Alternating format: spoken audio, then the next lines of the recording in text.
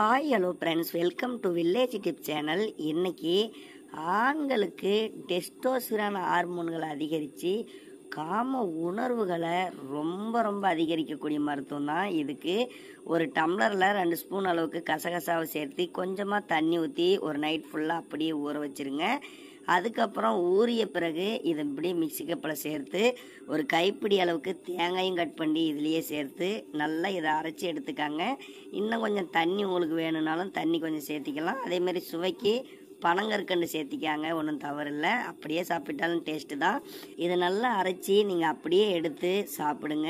உங்களுடைய உடல் பலம் என்பது ரொம்ப ரொம்ப அதிகரிக்குங்க. நரம்புகளுக்கும் பலத்தை நாளுக்கு நாள் சேர்த்து கொண்டே இருக்கும். இந்த இரண்டையும் சேர்த்து நம்ம இப்படி ஜூஸை அரைச்சி நம்ம சாப்பிட்றதுனால டெஸ்டோசிரான் ஹார்மோன் என்பது ரொம்ப ரொம்ப அதிகரித்து ஆண்களுக்கு உணர்வுகளை ரொம்ப ரொம்ப அதிகரிக்கக்கூடியது. சுத்தமாக தாம்பத்தியத்தினுடைய அந்த உணர்வுகளே இல்லைனாலும் சரிங்க.